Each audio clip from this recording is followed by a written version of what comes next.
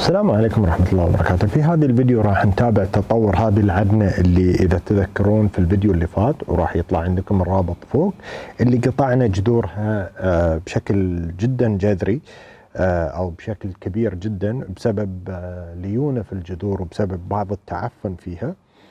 وتركناها مدة طويلة في تربة جافة في هذا الأصيص وخليناها تجف قبل لا نحطها أصلا في التربة. ممكن نرجع ونتابع السلسلة نفسها اللي فيها كل الخطوات من التقليم الأساسي إلى لما قطعنا الجذور وكذا. ممكن نتابع السلسلة اللي أيضا راح يطلع الرابط لها.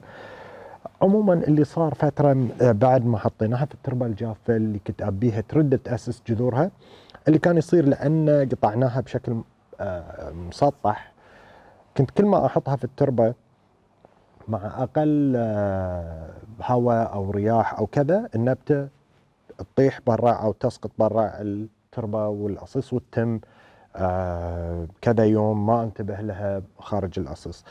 فاللي سويته إني ثبت النبته داخل الأصيص بقطعة من السلك المعدني وراح اراويكم عن قرب اللي سويته. والآن بديت ان أغذي النبتة بالان بي كي صار لي أسبوعين بديت أغذيها بالان بي كي وراح اراويكم أيضا التطور اللي بدا يصير في الأغصان ومن نمو جديد. فالحمد لله هذا يبين لي إن النبتة بدأت ترجع تنمو وجذورها بدأت ترجع تنمو من من آه، في التربة. فهذه راح أتركها مدة طويلة في الأصيص. ما راح أحركها ما راح أقلم جذورها بالعكس راح أتركها بدون تشكيل بدون أي شيء على أساس ترد تسترجع قوتها وعافيتها وترد تنمو وتثبت روحها. آه ولكن راح أراويكم اللي سويته عن قرب أكثر.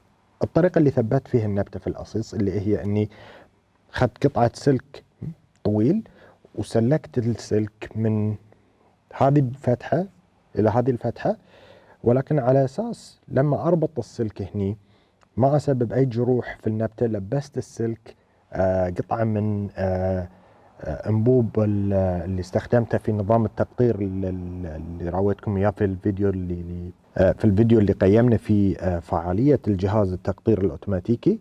فقطعة بلاستيك بس أو قطعة أنبوب على أساس بس ما أجرح النبتة لما أربط النبتة فالواير ممكن أنه يقطع داخل النبتة ويسبب جروح آه، مستقبليا منظرها يكون آه، شوي قبيح أو شكلها غير لائق. فهذه بس على أساس أتفادى مشكلة تثبيت النبتة وسقوطها مع الهواء. فهذه راح ينشال بعد فترة وراح أراويكم تطور النمو اللي في النبتة من فوق. فمثل ما إحنا شايفين عندي هذه الأطراف الجديدة بدأت تطلع أوراق جديدة فمعناته النبته الحين بدأت ترد تنمو. تقريبا كل الأطراف قاعدة ترجع تنمو وترد تطلع أوراق جديدة وفي تفرع. في بعض آه، خيوط آه، شبكة عنكبوت موجودة. آه، حاليا راح أتركها ما راح ما راح أعالج الموضوع. قد يكون عنكبوت طبيعي قد يكون عنكبوت عادي اللي هو يعتبر حشرة مفيدة. ما راح أتدخل في النبتة أو أرشها لأن نموها طبيعي حاليا ونموها صحي الحمد لله. فما راح أرش ما راح أسوي أي شيء. فراح نتابع إن شاء الله نمو النبتة وتطورها ومثل ما قلت راح نخ... الحين أطلعها من الظل وأحطها في, في مكان تحصل شمس على أساس أنها تقدر تستوعب طاقة ونموها ينشط مرة ثانية. بما أن الحين تأكدت أن الحمد لله تعافت وبدأت تنتج أوراق جديدة في كل مكان.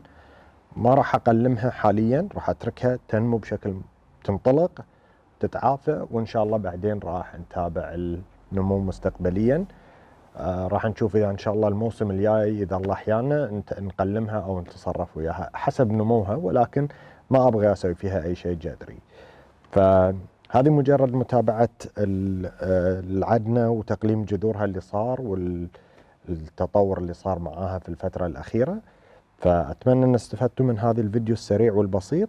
وإذا عندكم أي سؤال أو أي استفسار بخصوص العدنة أو أي موضوع ثاني ممكن تتركونه في قسم التعليقات. وإن شاء الله راح أحاول أجاوب أسئلتكم بأسرع وقت ممكن. وأشوفكم إن شاء الله في الفيديو الجاي. في أمان الله.